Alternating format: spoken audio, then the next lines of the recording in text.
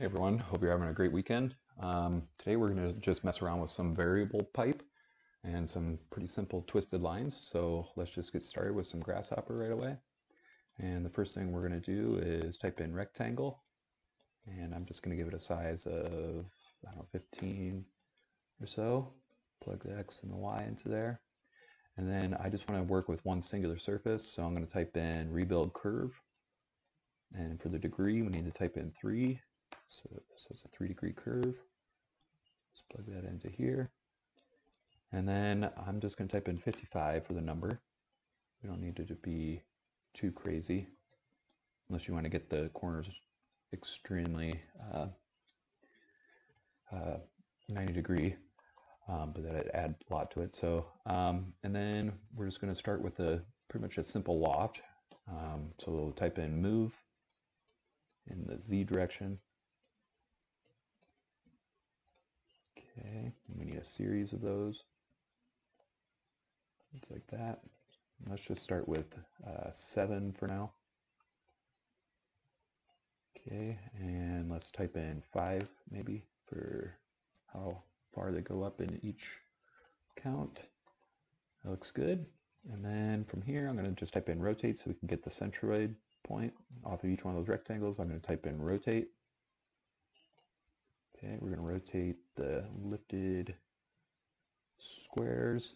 Um, we're going to change the radians to degrees, and the plane is going to be on the centroid. And for here, we're just going to need basically another series. Try to leave this semi-clean here. All right, and then uh, I'm going to give it a slightly higher number than 5. Let's type in 25. Okay. So you should end up with something like this. And if you were to loft that, basically it's kind of making a twisting shape. You can make it more twisted or less twisted, really easy. Okay, and let's scale down the bottom maybe. So I'm going to just type in scale again. Let's type in area. We're going to plug that back into our rotated curves. Um, the geometry goes to the rotated curves again, and then I'm going to type in series again. Oop, we could just probably copy and paste it from here. We don't need the 20, uh, the 23. We'll just type in 1, because otherwise our curve's going to get way too big. Okay, and I'm going to bring that really, really low, and you'll notice we're getting that to be turning red, which obviously something's not right, and it's just because the bottom curve is basically non-existent. So I'm just going to type with 1 so the bottom stays the same. We kind of skip over it, and then everyone after that uh, starts to get um, scaled. So, so that's looking a little pretty good. I'm going to mess with the, the scale just once again. Let's kind of tighten that up just a bit. Great and maybe the top few don't actually get scaled. Uh, let's see here. I make the actual rectangle at the beginning smaller. There we go. Now we can mess with the scale a little bit more. The top gets wider. I'm going to turn down the count on the rotate. So it's just the bottom that's starting to rotate. You can still make it look crazy, but I'm going to try to leave it relatively simple. Looks pretty good to me. All right, and then from here, we're just going to subdivide this out and we'll and uh, try to get some lines out of it. So we use isotrim. Then we're going to type in divide domain square. Okay, plug this into here, plug it into there. Okay, one for one direction because we don't want them in x, y coordinates. We just want the z. So I'm going to type in 55 for the v. There we go. We'll start to generate the UV lines in the z direction. I'm going to type in deconstruct brep because all we want are lines. Okay, I'm going to type in item for list item. I think it should be the first one. Awesome. So we can increase the amount or lower the amount. Um, we can start to mess with the rotation again, make it crazier and crazier. And let's say you wanted to rotate the top, all you need to do is type in reverse and it'll flip. So the top starts to get whacked out. I might bring this higher. Maybe we will do the top. See how that looks. All right, and then from here, we're gonna type in variable pipe right here. So we need to plug in the curves into here, and then we need to give it an evaluation. So let's type in evaluate, and we're gonna do length. So it's basically gonna set points um, throughout each one of those lines. So we're gonna use one as the end point, oh, the starting point, excuse me. And then we're gonna bring one lower. Let's go halfway for now, holding shift. That'll be kind of the center point there. And the bottom point, which would be zero. Oop, I messed that up. Undo, undo, hold shift, plug it all in. We'll go to the top. All right, perfect. Try to keep this clean. And we plug this uh, lowercase t into, into the lowercase t there. And now we need to give it three variables uh, for the pipe dimension, our radius. So we'll just hold shift, plug all three of those in there.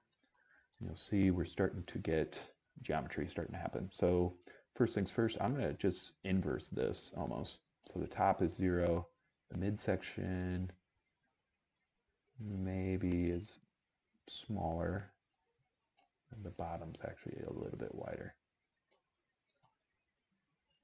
Cool. Might want to mess with a couple of things in a bit, but overall it's starting to look pretty cool. Not sure that many rotations is needed for the aesthetic I'm kind of looking for. Yeah, so it's looking pretty sweet already. All right, and I'm just going to bring that bottom. Actually, what if we made the mid thickest? The bottom dimension goes thin again, and then we go back to our evaluate point. Maybe it's not so high. Get it a little bit lower. It goes thin to thicker to thin. That might look pretty cool. Okay. And I'm going to type in bounding box. Um, right from here, we're going to right click on a union. And then we need to flatten it. So it's one singular box. And I might just double click on the wire so we keep this all the same. I'm going to type in volume so we can get our centroid of the volume here. We're going to type in scale non-uniform. So we're going to go back to the plug there. That's our center. And then the XY direction, we're going to scale it down slightly so we can get some layering starting to happen within here. That might be a little bit too much. I'm going to hide these so we can start to see what we're doing. Here we go, starting to get some layering happening. Great. Now I'm just going to select all four of those, hit Alt, and now all we have to do is just plug that into here. Let's do it another time. Perfect. Three might be enough. And just to keep all these together, I'm going to just plug in each one of these scaled figures here into a B-rep plug. That way we're not having to bake out and select all of those. So if we were to bake this out, let's see here for the render view, let's see what that starts to look like. That's looking pretty sweet. Pretty cool curves happening up the center. Yeah, pretty cool. I think the dimensions got to change just a bit. And we'll see where it takes us. Okay. Let's turn down the radius just a bit more so we get some light, light in there. Okay. And I might turn up the bottom just a bit more. Let's bake that out, see what happens here. There we go. Maybe we do want more rotation. Turn that up. Let's go, let's do 33.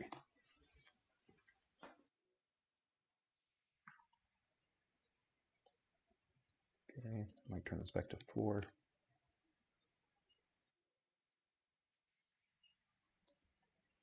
Awesome. Now I'm going to turn the move down to, let's do three.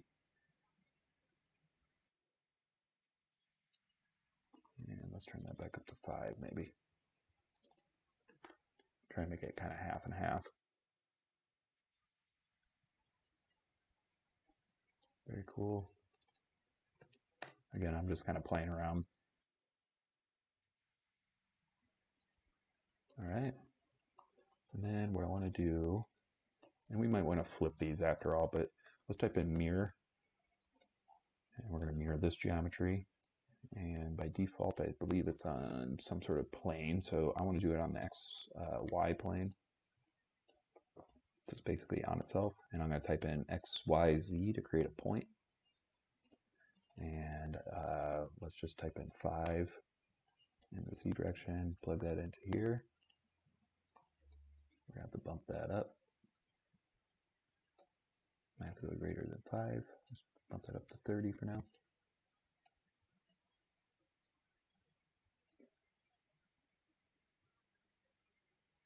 Okay.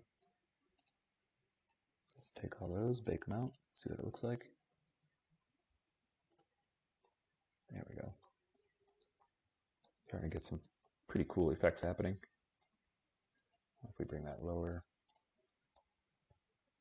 Yeah, really cool stuff happening. And I might just reverse it back, to be quite frank. I kind of liked it a little bit more where it's spinning at the bottom. So I'm going to hit undo. Okay, let's go back to our rotate. I'm going to unclick the reverse. And we're going to have to mess with the, the radius. Yeah, I think that's cooler. Okay, so the radius at the top needs to be zero. So turn that all the way down. Okay, and then I'm going to lower this down to 0.04, let's say. There we go. I think that's a lot cooler. And then let's go back to our rotate again. I'm going to turn this to 4. Awesome. And I know we're going kind of backwards from what we already did, but I want to make it a little bit taller.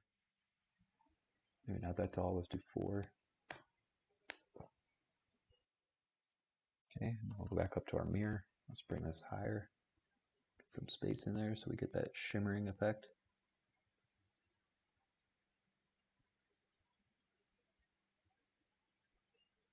Get it about just to the point because it's the radius at the end is zero, so it's basically nothing. It is nothing. So get that same effect starting to happen. Let's see what this looks like. Yeah, that's pretty cool.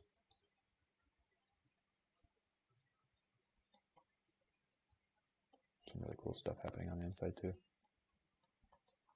And we might want to turn up the rotation, just the degrees. Let's see here. Turn up to 33. All right. I might bump this up to 5.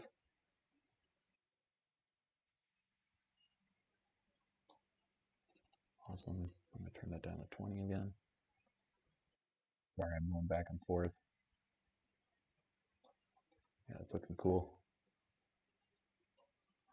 Bake that out. Maybe this is it.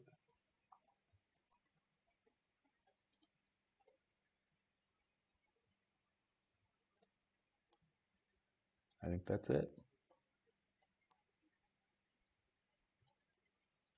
Awesome. I'm to play with the scale just a bit more. And to do that, I'm going to turn down the initial way at the beginning rectangle. Let's turn that down to like 7. Looks a little thick here. I kind of want them to look more like columns. So we get density, and then it starts to just flow away.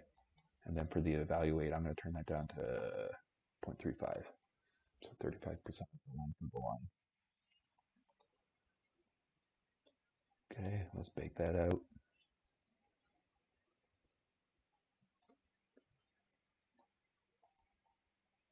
That's looking pretty cool. I think we need to bring it further down on the evaluate length even more. So let's do 25%. Let's get it lower.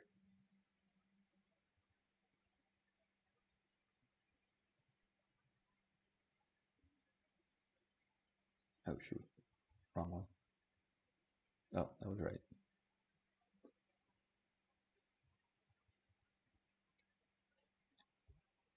Might slow up your computer a little bit. It's a lot of geometry in here. There we go. I think that might be it. Hit bake again, see what that looks like. I just wanted to taper slightly more uh, when it comes to center so we get these nice striations starting to develop. So I think that's it. Very cool. Nice shimmering effect starting to happen. Very cool.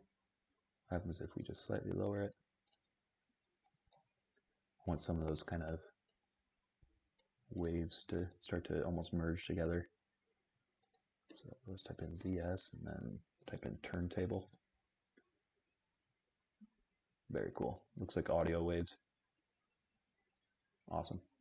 So I think we'll be using this. All right, and one thing I am going to do right off the bat is just mesh this. I can put it on the lowest settings and it'll make the Rhino model run a little bit smoother and you won't probably see any difference within the geometry. So then from here, all I'm going to do is just join them all together. This might take a little bit longer. There we go. Much better. Okay, let's kind of pick out a view that we like. So I don't think you can necessarily have a bad view with this particular model, but potentially you could. Okay, so that's a view I like. So from here, I'm just going to take, copy and paste this over, rotate it a little bit so it looks different on access. And then we'll do the same for here. And then if we just go to our plan view, let's just make sure they're slightly different. This one's showing up here, so that's our camera. This one's pretty similar, but each side's going to be relatively symmetrical, so it's going to be hard to get away from kind of a uniqueness to each one, but that's kind of what I was going for anyway. So if we go like this, they look different, but the same. Okay, so I think this is going to be our rendering. I'm going to scooch this guy just a hair over, this one over just a bit. Looks cool. All right, and then from here, I'm just going to type in bounding box. Okay, I'll go to shaded mode real quick. And the landscape this week is, uh, let's do a beach. Because it's cold in Chicago and life's always a little bit better on a beach. Okay, we're to rebuild that. 125 by 125, 3, 3 for U and V's. Gives you some nice uh, curvature within this model. This looks relatively way too big, especially for a close-up view, even smaller. Okay, I'm to turn my points on. Let's make these sitting on the beach. I'm going to go to my select tab, select brush. Let's create the ocean kind of coming in.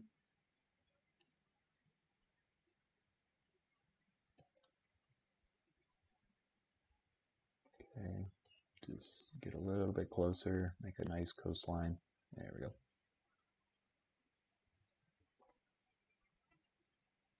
Okay. I'm just going to select all the things in the water here. This is going to be our sand layer. We're going to bring that portion just a little low. And then we're going to do the same thing. Try to replicate what we did. Oop, that won't work. We're just trying to replicate that coastline just like so. This is where it'll start to get a little bit deeper. I don't even know if it'll show up in the rendering, but okay, so you're making these almost like little terracing effects happening. We'll type in smooth, do that again, do it again over and over. And let's get it so it starts to replicate what a beach looks like. There we go, nice drop off. Okay, you'll notice our models are floating in space. That's not what we want. So let's give it a water layer real quick. Hmm. Okay, so that's our coastline here. Let's get our model near there. I'm going to turn this to our water layer. Change. Bring the water layer just a hair lower. It's not intersecting. Okay. Bring our models up to the beachfront here. Raise all this up just so we can see the bottom of the models here. Perfect. And let's see here in the background, let's turn our points on again. Let's just make some hills really quick. So it doesn't look like it's just in the middle of a deserted island or something. Perfect. Type in smooth again. There we go. Make sure our models are sticking through just a bit.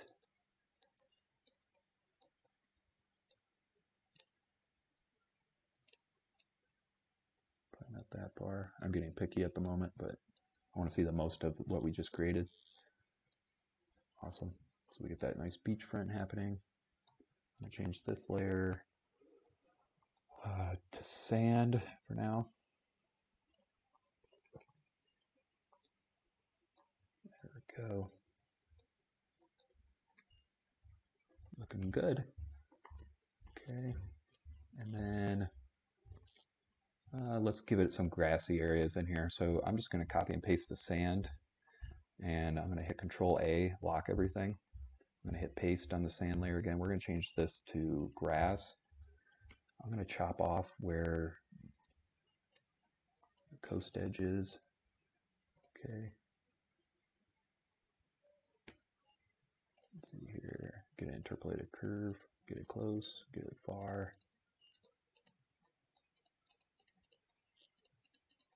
Just like that. We'll just hit Control Shift S, that's for split.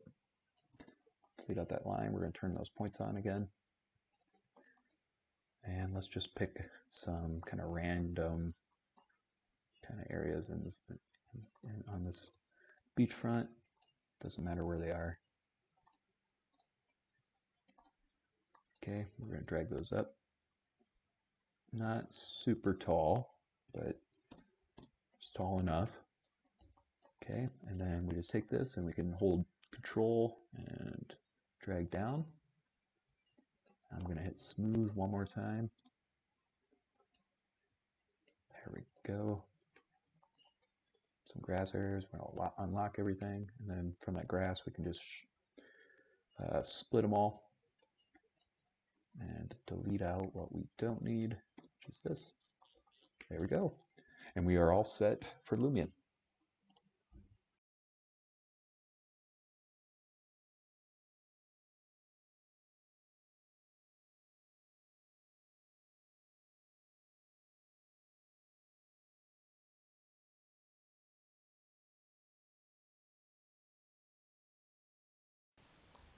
So the model imported really nicely into Lumion. So we're just going to start adding some materials in here.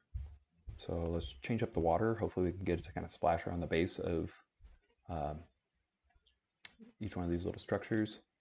Uh, let's do clear ocean maybe. Let's see if we can kind of mess with how big the wave scales are, or lack thereof maybe. Uh, let's do wave scale. There we go. Caustics make them pretty big. Reflectivity is fine. Let's get some more foam around the edges there. Wave height is not the greatest for us if we want them to kind of come around. Okay, and that looks pretty good. Okay, let's go to sand. Go to various, soil, head to here. Looks like the texture might be a little bit too small. Maybe a little bit bigger. Looks a little bit too big. Okay, bring up the displacement here. Perfect. Okay, let's change this area and let's do some 3D grass. Uh, let's make it relatively big. Roughness. And that's pretty good for that. And then these, um, do an indoor material, a stone. Looks pretty good. similar to our Rhino model. It's kind of an Arctic. I like that. Marble. I'm going to turn the gloss up, reflectivity down, and we'll hit OK. Then we'll just start adding some landscape features around here. So let's go to Objects. Uh, let's do palm trees. Maybe this one looks fine. Let's just paint them in. Oop, let's delete those. a bit too dense. Okay. Let's do that again. Bring down the density factor here. Maybe these are kind of our background trees. And then let's do, oh, let's see here, some shorter ones maybe. Bring down the density for the, kind of the midground here.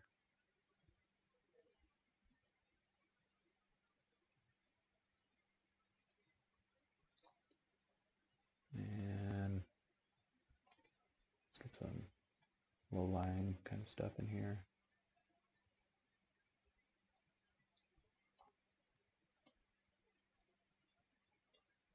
Okay, and let's do some grass. Um, we don't really need it in the midground quite as much as in kind of the foreground area here. Okay, if we zoom in, it'll start to show up quite a bit more. Let's bring up the density on that grass. Okay, perfect. Let's get it close to the structures. Bring up the density even more.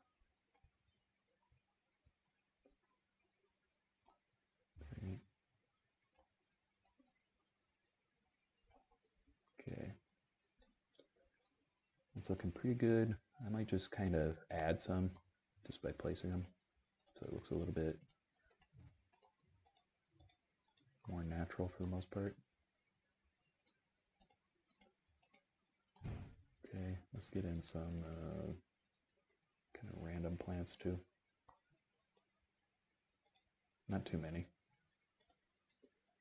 And let's see here. I don't know if that's helping, but it's fine. Maybe a couple of these. Add some color variations to the green.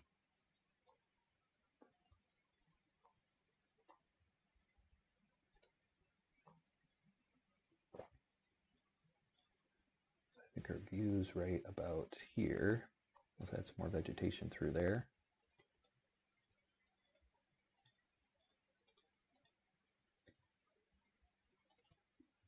some greens popping. There we go. I think the view's right around here. It's looking pretty cool. I wonder if we get some tall trees out in the distance.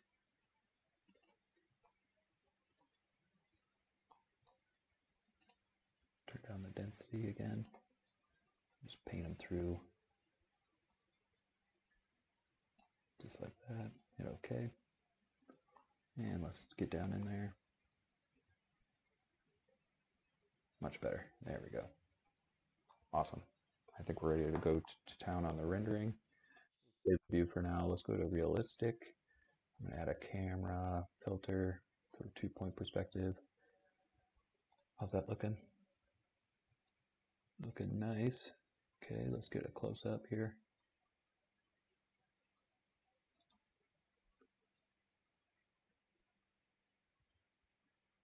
Under preview is looking great.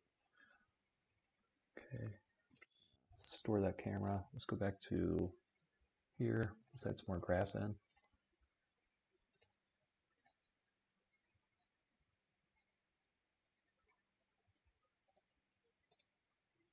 Perfect.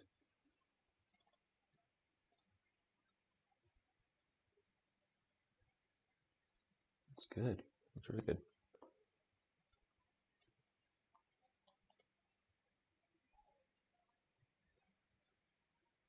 It's looking nice. Let's play with the real skies for just a sec. I don't know if that lens flare is annoying me or is it helping the scene, I guess.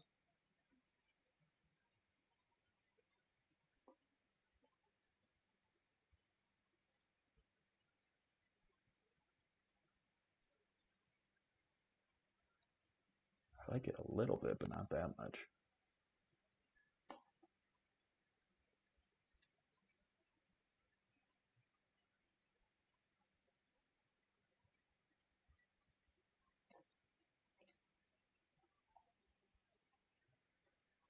It's looking pretty nice.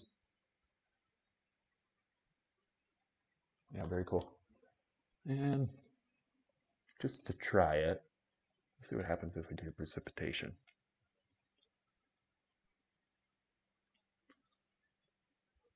Bring that a little bit lower so it's kind of a wet day at the beach.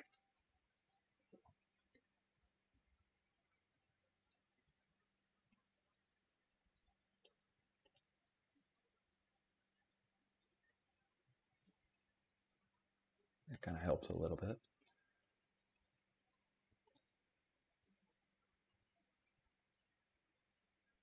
That's looking good. Okay. And then um, one thing I just kind of noticed is some of these plants look like they're floating. So I'm just going to take a handful of them. Just drag them down. They are floating. No, not that one. All these. All right.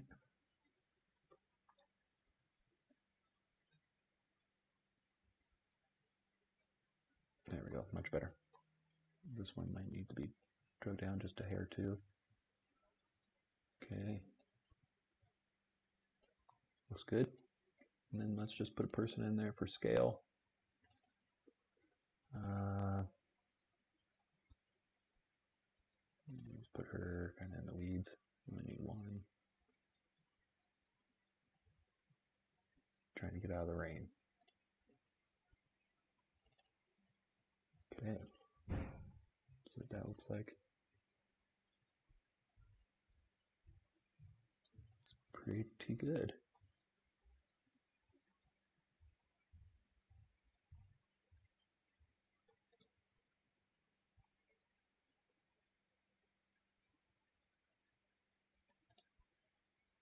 Water's not showing up quite as much as I want it to, so I might switch that out.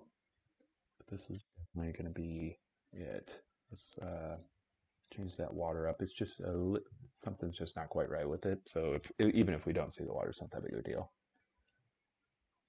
There we go. Much better. And we can actually zoom in just a bit more. Awesome, I like it. So let's render this out. And we will be all set Photoshop.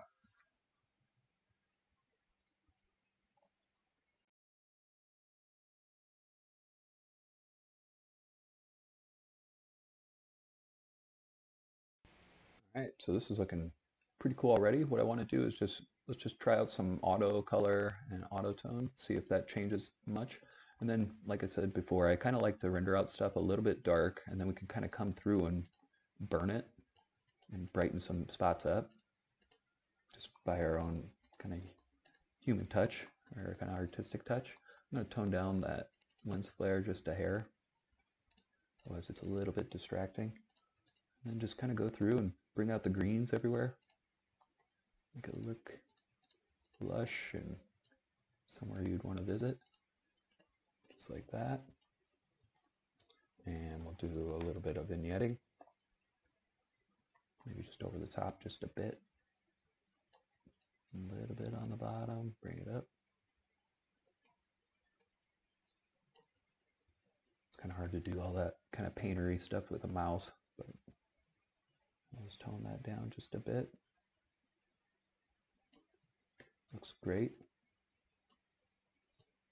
This part here might be a little bit too green for me. I'll tone that down. Use hit Alt while you're erasing. It'll bring it back to the original.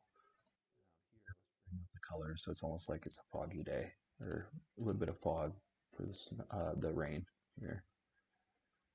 All right, hit, delete that back to normal and let's bring it out. And these little shimmer areas, I'm just gonna burn those just a bit. Looking really good. I'm just going to erase that out just a bit more. That's great. do another auto tone real quick.